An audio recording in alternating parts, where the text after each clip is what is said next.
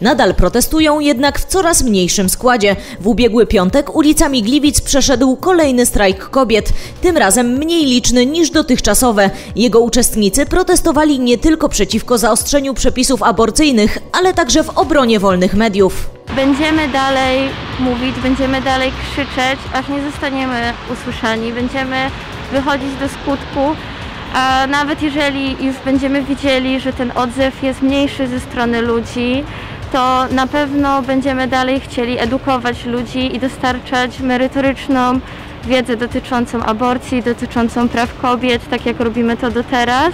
Mimo, że uczestników gliwickich strajków jest coraz mniej, to organizatorzy nie tracą zapału. Jak zapowiadają, protesty będą się odbywać tak długo, jak widoczny będzie odzew ze strony gliwiczan. Nie ukrywają jednak, że jeśli liczba protestujących nadal będzie spadać, to działania gliwickiego strajku kobiet przeniosą się do sieci.